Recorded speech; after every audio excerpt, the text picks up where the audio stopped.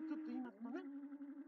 皆様方の肉体はね、いずれにせよ、おずと藤原の子供なんですよ。その体細胞年からもったと。なんでね、おずと藤原でもない場合に、うちとの間に圧力が出ればね、それはおずの藤原にも、うち由来じゃない自我がおるから、そこにすらおるから、他のとこにはもっとおる。と考えて、間違いないわけ。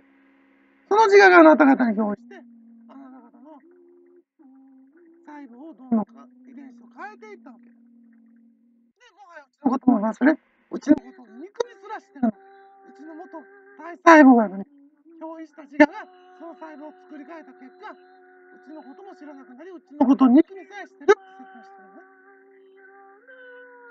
で、細胞にしてみれば情けないでしょ。うちの声は確かに母の声に聞こえるはずやか。その細胞に表示するあなた方は何ですかって。そこを怒られてる。そこを咎められてるわけ、皆さん。